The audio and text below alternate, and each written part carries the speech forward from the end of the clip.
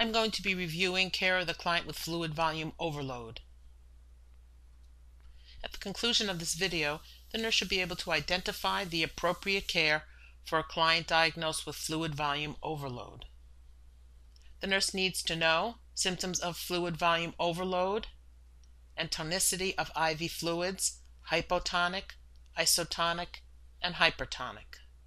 When you're assessing a client that has fluid volume overload, may see bounding pulse, hypertension, dyspnea, rales and crackles, peripheral edema, and decreased hematocrit and BUN because the more fluids in the bloodstream, the less concentrated the hematocrit and the BUN will be.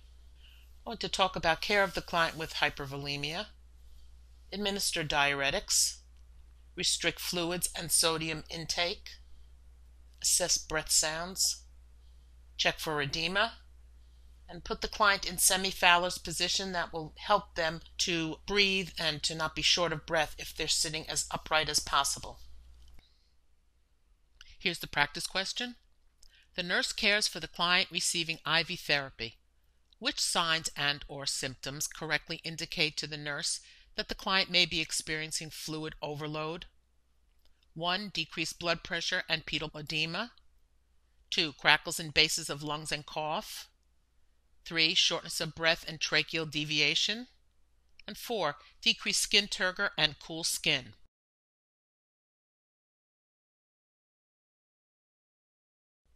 Number 1 is incorrect. Decreased blood pressure and pedal edema. You would have increased blood pressure and pedal edema.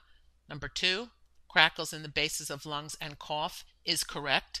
Pulmonary symptoms of fluid volume overload include crackles, shortness of breath, and frothy sputum.